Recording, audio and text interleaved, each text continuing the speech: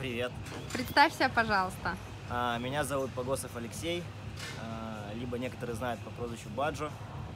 Вот, я из города Ростова-на-Дону. Лёш, почему Пхукет? Я здесь тебя вижу не первый год, ты выбрал это место. Почему? А, Почему? Ну вот вчера я подсчитал, что это уже моя шестая поездка, шестой год, когда я зимую на Пхукете. А, Я не знаю, я пока лучше место в межсезонье для тренировок э, не знаю. И тут, тут идеально все подходит для тренировок. Тренировки по вейку. Я знаю, что ты про райдер. Расскажи о своих достижениях. А, да, я э, катаюсь, меня поддерживают э, такие бренды, как э, O'Brien Wakeboards, э, Anil Wakeboards, э, Шлема Берн. Вот. э, также меня поддерживает очень компания Vertigo Sports. Вот. И наши ростовские вейк-парки. Вейк Ростов, э, Ростов Вейк-парк и Каррера Вейк-парк. С чего все, все началось? Почему вейк? Как ты сюда пришел? И тебя он настолько затянул, что ты уже много лет в нем. Как получилось? Началось все, как обычно, это друзья, которые э, позвали меня попробовать. Сначала это был катерный вейкборд. Я попробовал, было интересно. А, причем я полжизни, наверное, занимаюсь различными экстремальными видами спорта. Я занимался долгое время, нач- начинал с роликовых коньков, aggressive inline. А, потом какое-то время был брейкданс. Потом после роликов я начал кататься на скейтборде и прям был помешан на скейтборде долгое время.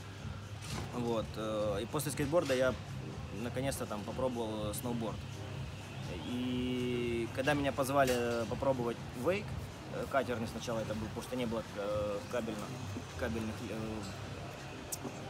э, Я такой ну, скептически отнесся, думал, как-то, ну, уже возраст, наверное, сейчас что-то новое, какой-то новый спорт пробовать, какие-то новые трюки учиться уже было неинтересно, но в итоге, когда попробовав именно кабельный вейкборд, меня прям это, ну, это заразило, вот, и стало очень интересно э, пробовать определенные трюки. Мне казалось, это немножко проще, чем скейтборд и сноуборд, потому что все-таки падение все в воду.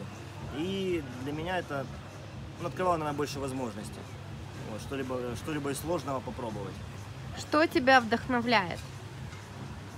Вдохновляет? Я не знаю, вдохновляет, наверное, трюки определенные, потому что, ну, особенно сложные, и какое-то к ним стремление. А, И э, вдохновляет, когда ты по- побеждаешь свой страх, потому что каждый определенный трюк э, ты борешь свой страх, потому что ты, твое, твое тело всегда, оно, оно же по сути ленивое, оно не хочет, чтобы ты что-то рисковал, э, где-то падал, ударялся, где-то какую-то боль испытывал. И все время оно старается тебя притормозить, там, давай не сегодня, давай не, там, не пробуй это, там, ну, грубо говоря, в голове. Вот. И когда ты преодолеваешь определенные страхи, у тебя получается трюк, э, ну это очень крутое ощущение. Это стоит попробовать. Причем на разном уровне. Это, это для новичка это может быть хоть там на большом кольце 5 опор пройти. Это уже будет большая победа. Вот. Э, А там дальше уже постепенно, постепенно ступеньки поднимаются выше и выше. Раз заговорили о трюках, какой твой самый любимый трюк? Самый любимый трюк. Наверное, самый банальный ответ это тот, который еще не приземлил, но вообще с самого начала, как начал кататься, самый любимый трюк для меня был самый красивый. Это был Моби Дик.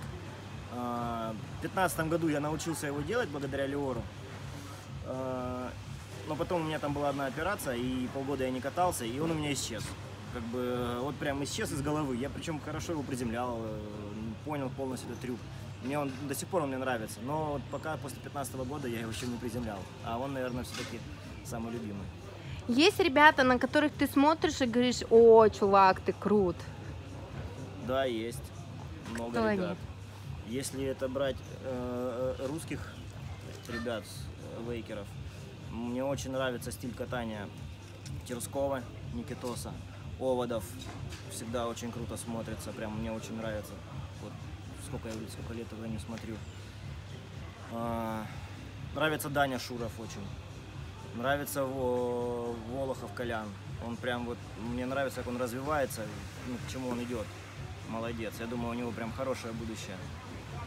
Я сейчас могу кого-то не вспомнить, э, но, но есть там еще пара человек мне нравится. Всегда нравилось, как, э, всегда нравилось, как э, катается Ситников. Вот. Не могу сейчас всех вспомнить. А из западных, наверное, мне нравится качество исполнения трюков Леора, Софера. А, Нравится, как катается Фирер. Аранган. э, Помню, там еще есть. Ну, Дэниел Грант, понятно. Очень круто катает. Вопросов нет. Как тебе люди могут попасть на тренировки? Я знаю, что ты крутой тренер, но почему-то никогда не тренируешь у нас. Да я не знаю, попросите попасть, все. Если, если будет возможность, я, конечно, с удовольствием потренирую. Ну, когда ко мне обращаются за советом, я, ну, я всегда, всегда расскажу, объясню, по- по- подскажу, даже если я человека не тренирую. Вот, у меня как бы с этим проблем нету никогда. Сколько по времени занимает у человека поставить хороший трюк, если он такой интермедиа level? Интермедиат. Ну, это в зависимости от трюка, от сложности трюка и от подготовки человека, потому что от человека зависит. э, Потому что бывают люди, которые приходят, да даже после, не знаю, единоборств определенных, после борьбы, там, э, у них как-то с вестибулярным аппаратом гораздо лучше дела обстоят. А есть люди, которые ничем не занимаются, и их нужно прям стараться развивать, вплоть заставлять кувыркаться на полу вперед-назад, чтобы голова начала работать, потому что вот, ну, совсем тяжело с этим. Но результатов, результаты обычно человек видит, если начинает что-либо хотя бы минимальное делать по упражнениям, он видит э, за- месяц уже точно к чему-то может прийти. И люди, и я, я знаю людей, которые, когда там перед ними прыгаешь сальто, и он тебе сразу говорит, что да это нереально, я это никогда в жизни не сделаю. Через месяц он делает то же самое, и он понимает, говорит, слушай, ну я в это не верил, ну как так, как я это делаю? Ну вот, все ж просто. Прыгнул, кувыркнулся, приземлился, все. Что ты пожелаешь тем деткам, которые только-только начинают вставать на вейк, видят тебя на воде и говорят, «М, я хочу так же. Что ты им пожелаешь? Я им пожелаю стараться больше кататься, а, не спешить со сложными трюками. Все идет поэтапно.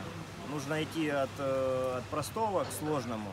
Если все простое будет легко даваться и получаться, и оно будет закатыв- закатываться, запоминаться человеком, то потом, когда он будет переходить на более сложные трюки, они будут проще получаться. Вот. Тут все дело в накате, в аккуратности.